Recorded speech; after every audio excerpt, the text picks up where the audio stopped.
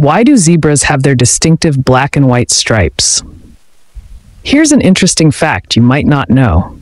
According to scientists, zebras have black and white stripes to adapt to their environment and help them survive.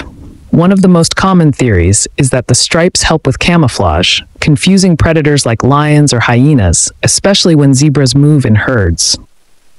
The alternating black and white stripes can create a visual effect that makes it hard for predators to identify a single zebra, making the whole herd more difficult to attack.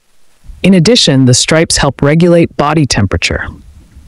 During the day, when zebras live in the hot African environment, the white stripes reflect light and heat, while the black stripes absorb them, creating a natural air circulation system that cools the body. Another reason is that the stripes may help prevent insect attacks. Research shows that the black and white stripes make it harder for tsetse flies, insects that carry dangerous diseases, to land on zebras. Therefore, the stripes not only protect zebras from predators, but also enhance their chances of survival in harsh environments.